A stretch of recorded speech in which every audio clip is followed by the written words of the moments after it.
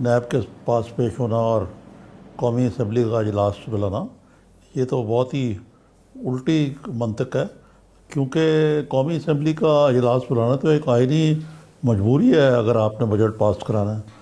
और ये कोई आइनी मजबूरी नहीं है जब शहबाज शरीफ साहब ने शवायद भी दे दिए सारे भी दे दिए उनकी कुछ सेहत की रिजर्वेशन होंगी। वो नैब वाले उनको जाने और वो जाने। और वैसे भी इस हुकूमत का तो नैब से तल्लक ही कोई नहीं ऑफिशियली स्पीकिंग ये बयान फरदौस आशा कवान साहबा ने दिया जिसके आप ज़िक्र कर रहे हैं। जी। तो बहरहाल इस बारे में मेरे ख्याल राना सनाउल्ला साहब बेहतर बता सकते हैं। राना साहब सलामकुम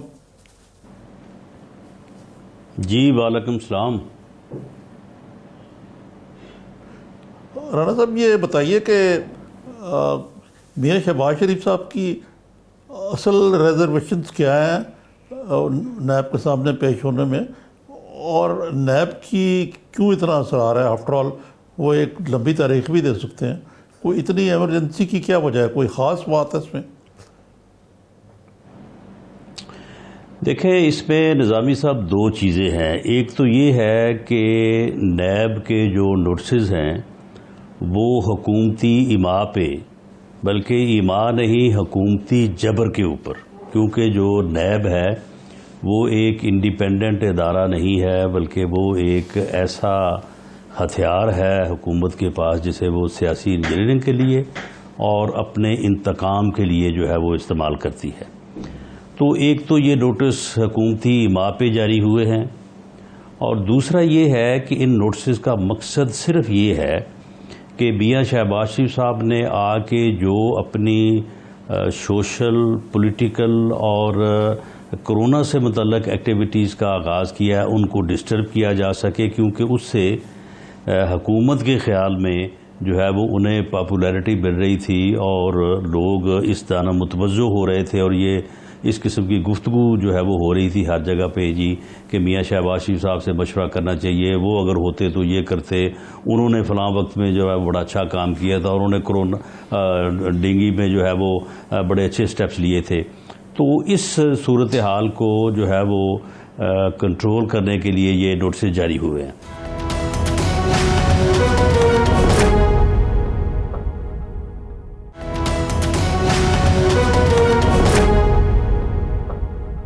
राना साहब जो आज शहबाज शरीफ साहब ने जवा, जवाब दाखिल किया है उसको लेके नैब ने जो अपना वजाहत दी है और बल्कि एक और मामले पे भी शेख रशीद साहब के एक बयान पे भी नैब ने वजाहत दी दम वाले मामले पे। ये कहा कि नैब पे किसी का दम नहीं है और किसी का असर नहीं होता, कार्रवाई आइन और कानून के मुताबिक होती है, ये नैब ने कहा है आज।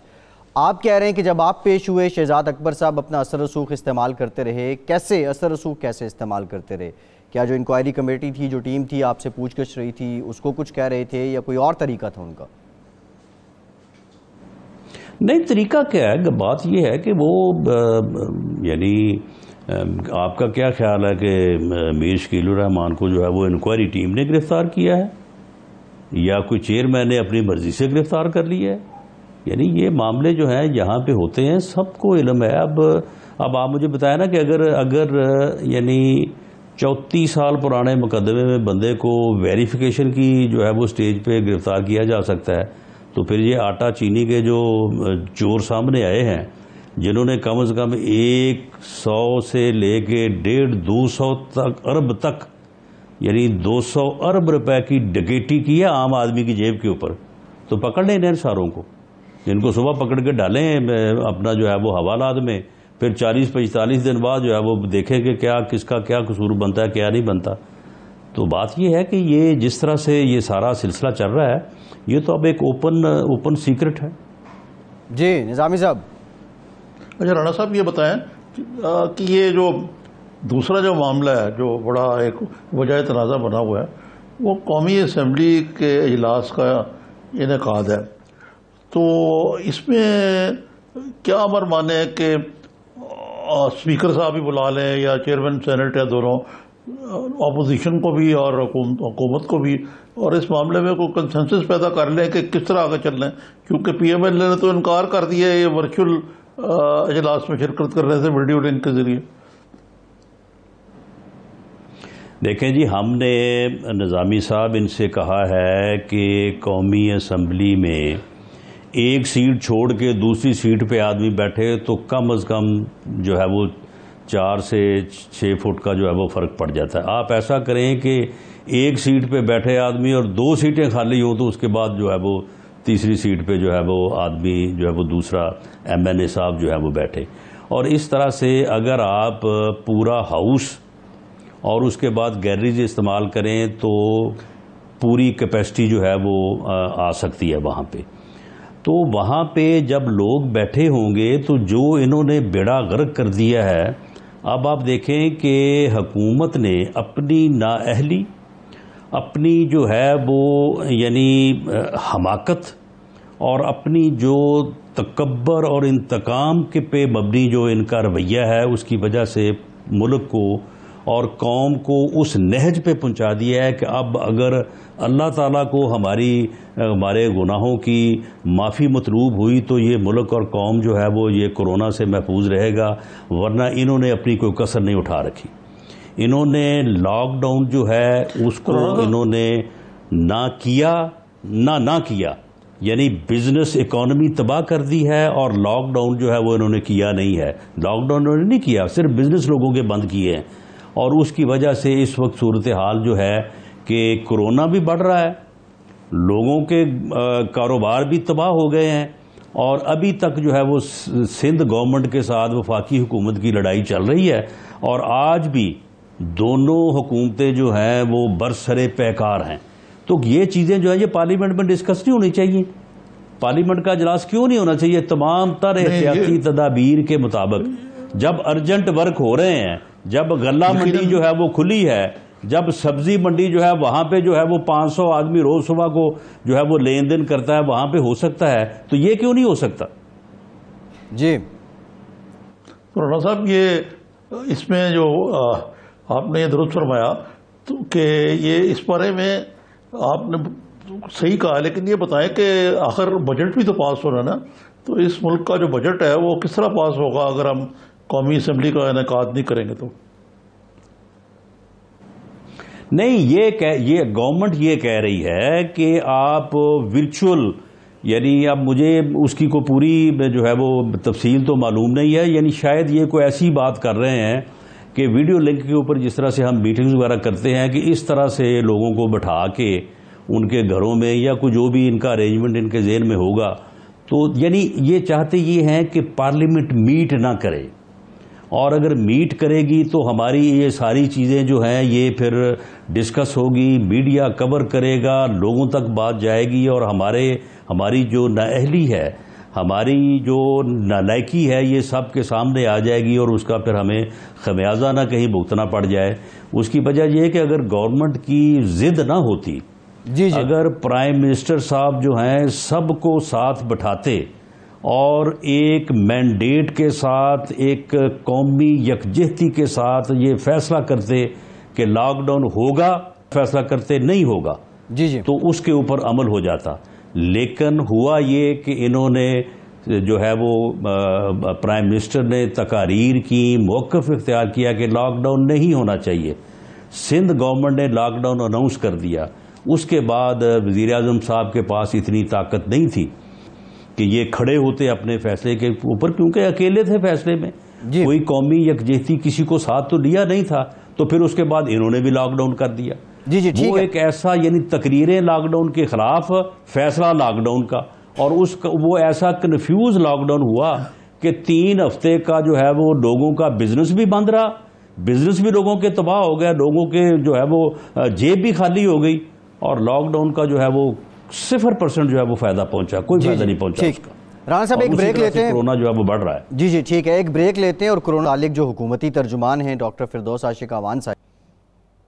के एक राज की बात कि शहबाज शरीफ साहब क्यों तशरीफ़ लाए? जब यूके गवर्नमेंट ने हेल्थ डिपार्टमेंट ने ये फैसला किया कि वहाँ पे जो वेंटिलेटर है एस बना दिए कि अगर किसी 60 साल से ऊपर शख्स को हार्ट अटैक हो और बाईपास हो चुका हो और अगर उसका या किसी तरह से भी वो अ, मतलब बीमार रहा हो। कंजस्टिव कार्डियक फेलियर में हो कार्डियक रेस्ट में हो उसको किसी सूरत भी वेंटिलेटर दस्तयाब नहीं होगा। और लेस देन 50 ईयर का जो होगा उसकी प्रायोरिटी है उसको वेंटिलेटर दिया जाएगा। वहाँ तो ना ये सिफारिश कर सकते हैं ना वहाँ धौस चला सकते हैं ना किसी को दबा सकते हैं। तो इनको ये था कि खुदा नहास्ता जो कोरोना फैल रहा है जी, तो जी। मेरी जान को खतरा है तो मैं फौरी पाकिस्तान पहुंचूं जहाँ हमने कम अज कम जो है वो अपने आप को क्वारंटीन करूँ। जी अपील तो निज़ामी साहब खैर ये थी कि अपोजिशन वजी अजम कोरोना रिलीफ फंड में पैसे दे। लेकिन ये जो उन्होंने कहा है कि शहबाज शरीफ साहब लंदन से इसलिए वापस आ गए पाकिस्तान के वहाँ उन्होंने साठ साल से जायद उम्र लोगों को आ, वेंटिलेटर नहीं देना था जो उनके उनके महकमे सेहत ने तरजीह बनाई थी। इसलिए वो पाकिस्तान वापस आ गए। जी ये ये मुझे समझ नहीं आती। फैजल साहब मुझे समझ नहीं आती कि जब वो नहीं आ रहे थे तो उनको ताना दिया जाता था कि वो लंदन में बैठे ऐश कर रहे हैं और मुल्क चल रहा है यहाँ यहाँ बुरान का शिकार है। अब वो वापस आ गए हैं तो उनको या तो नैब का मेहमान बनाने की कोशिश की जा रही है या कहा जा रहा है कि आप क्यों वापस आए हैं? और शेख रशीद साहब ने तो एक और तवील दी है कि उनका ख्याल था कि हुकूमत जा रही है और वो उनके इकतदार में वापस आने की बारी आ गई, कौमी हुकूमत की सरबराही की सूरत में या जैसे भी। तो ये राना साहब से पूछते हैं राना साहब बेहतर बता सकेंगे कि ये इतना ज़्यादा तकलीफ़ क्यों है? देखें निज़ामी साहब, मामला ये है कि अगर इनका यानी सिंसेरिटी का और सीरियसनेस का ये लेवल है तो फिर आप मुझे बताएँ कि ये गवर्नमेंट पे कर क्या रही है? यानी इसका तो काम था कि अपोजिशन को कौमी यकजहती का मुजाहरा करने के लिए गले लगाती जबकि अपोजिशन खुद गले लगने को तैयार थी और on the on the record Bilawal Bhutto Zardari Maulana Fazal Rahman Asfand यार वली और मियाँ शहबाज शरीफ साहब ऑन रिकॉर्ड है कि उन्होंने ये कहा कि हम हर तरह का जो है वो तावन अ, जो है वो करने को तैयार है। अगर ऐसा हो गया होता तो फिर वज़ीर आज़म इतना कमज़ोर ना होता कि एक सूबे के चीफ मिनिस्टर का ऐसा फैसला जो वज़ीर आज़म की नज़र में अ, सही नहीं था वो उसके पीछे उसे दौड़ना पड़ता। और दो दिन बाद फिर फैसला करना पड़ता कि चलें ठीक है जी लॉकडाउन कर लें। फिर वो या अपना फैसला करता या फिर सब मिल के फैसला कर लेते कि हमने लॉकडाउन करना है। देखें निज़ामी साहब हमारे लोगों में यानी यूरोप के माशरे में होगी किसी को लोगों को उन मुल्कों में कि वो छः महीने तक तीन महीने तक जो है वो कारोबार के बगैर ये जो है वो घर बैठ सकते हैं। हमारे लोग जो है ये दो तीन हफ़्ते से ज़्यादा कोई इनमें कैपेसिटी नहीं थी। इनमें गुंजाइश ही नहीं थी। चाहिए ये था कि तीन हफ़्ते का लॉकडाउन करने से पहले इस बात का इंतज़ाम करता, इसके लिए दस दिन ले लेते, पाँच दिन ले लेते, या एमरजेंसी में चार दिन में इंतज़ाम कर लेते। नंबर वन मैसिव टेस्टिंग का जो है वो अब कैपेसिटी हासिल करते कि उन तीन हफ्तों में या दो हफ्तों में कम अज़ कम जो है वो ढाई तीन लाख जो है वो टेस्ट होते, जिस तरह से बाकी मुल्कों में हुआ। है राशन पहुँचाने का इंतज़ाम करते। राशन जी, अब दो हफ़्ते बाद इन्होंने पहुंचाना शुरू किया और टाइगर फोर्स अभी बन रही है, बनी नहीं है। इसके अलावा पैसे जो है वो लोगों के घरों तक जो डे टू डे रोज़ दिहाड़ीदार हैं, रोज़ कमाने वाले, खाने वाले हैं, उनको पैसे पहुँचाने का इंतज़ाम पहले दिन से करते, जो कि इन्होंने दो हफ़्ते बाद तकसीम किए। आप मुझे बताएँ कि अब लोग इन्होंने किया कुछ नहीं? कोई टेस्टिंग नहीं की। अब टेस्ट हो रहे हैं तो तादाद बढ़ रही है। टेस्टिंग इन्होंने की कोई नहीं। और अब जो है लोगों की कैपेसिटी ख़त्म हो चुकी है। अब लोगों में इतनी ही सकत थी दो तीन हफ़्ते की। अब इन्होंने दो तीन हफ़्ते लॉकडाउन कर लिया और उस लॉकडाउन में सिर्फ़ ये किया कि लोगों के कारोबार बंद किए। बाकी लोगों का लॉकडाउन नहीं था बिल्कुल। सिवाय मेन रोडों पे पुलिस खड़ी थी लोगों को नहीं आने देती थी। बाकी आप अंद- अंदरूने मोहल्ला जाएँ रूरल एरिया में जाएँ किसी जगह पे कोई लॉकडाउन नहीं था। कन्फ्यूज़ लॉकडाउन था। क्योंकि एक तरफ़ वफाकी हुकूमत तकारीरें कर रही थी लॉकडाउन के खिलाफ दूसरी तरफ़ सिंध गवर्नमेंट कर रही थी हक में जिस तरह से आज भी वही काम चल रहा है। जी, जी, आज। वहाँ पे एक प्रेस कॉन्फ्रेंस जो हुई है वो सख्त तरीन सख्त तरीन लोड शेडिंग के हक में हुई है। प्रेस कॉन्फ्रेंस डॉक्टर साहबान से करवाई गई है। तो अब बात यह है कि अब लोगों में तो कैपेसिटी नहीं रही। लोगों का कारोबार तबाह हो गया। अब अब आप और- दोबारा से जो है वो लोगों को घरों की तरफ़ धकेलेंगे तो इसका रिएक्शन भी देखे